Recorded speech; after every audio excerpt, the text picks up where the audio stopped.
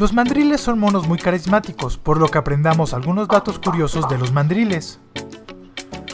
Los monos del viejo mundo se caracterizan por tener un hocico, a diferencia de otros primates, donde sus labios y narices tienen un perfil casi igual, y los mandriles son los más grandes del mundo.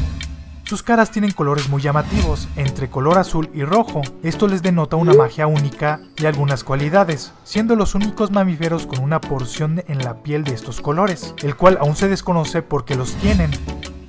A pesar de desconocer qué les da esa cualidad de color, su brillo es muy importante, ya que solo esto es lo suficiente para aterrorizar a muchos animales, incluido el ser humano. Si no me crees, solo míralos e imagínate toparte con uno. Es muy probable que salgas corriendo. A eso se le llama aposematismo, que es contar en el exterior con un color brillante para infundir miedo. A pesar de contar con una cola y tener una vida arborícola, donde pasan el mayor tiempo en los árboles, su apéndice caudal no es prensil. De hecho, solo pueden moverlas hacia los lados y no la pueden levantar ya que nos enfocamos en sus traseros, son animales con las nalgas rojas. Esto tampoco se sabe por qué lo presentan los machos, pero las hembras al entrar en celo, su región caudal se intensifica con un color rojo intenso para indicar su celo.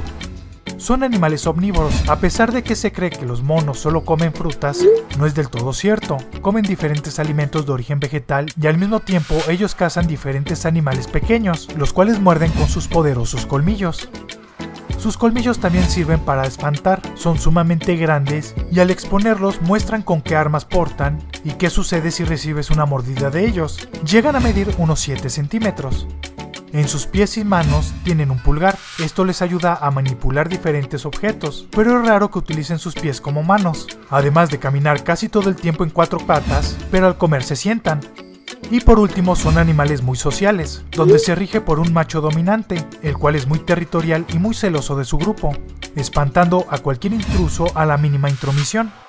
Si quieres aprender más del mandril, aquí te dejo un documental sobre este singular mamífero. Nos vemos en un próximo video.